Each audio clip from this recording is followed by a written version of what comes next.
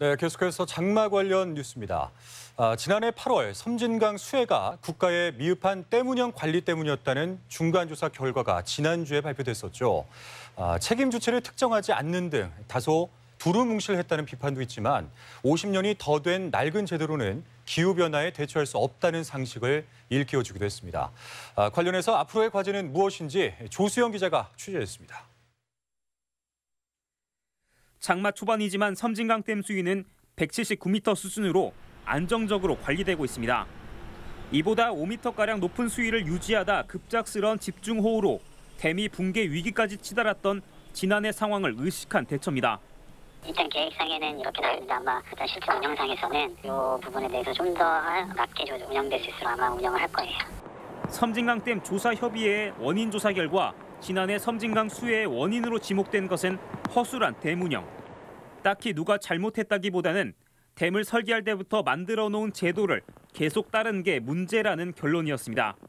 그 핵심이 여름철마다 60년 가까이 지속돼 온 홍수기 제한수입니다.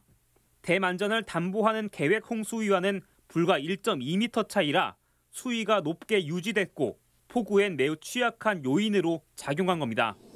결국 법으로 정한 홍수기 제한 수위를 하향 조정해 조절 능력을 확보하자는 것인데 수자원 공사 등은 제한 수위를 이미 2m 낮춰 올여름 시범 운영에 들어갔습니다.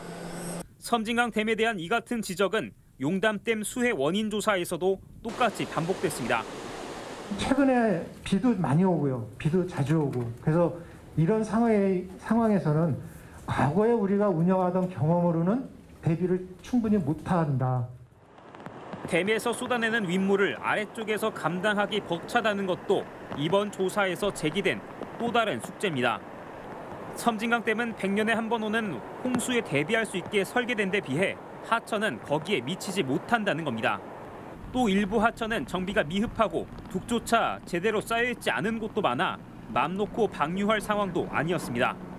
결국 제도 고치고 하천을 잘 관리했으면 작년 같은 수해 피해는 없었다는 겁니다.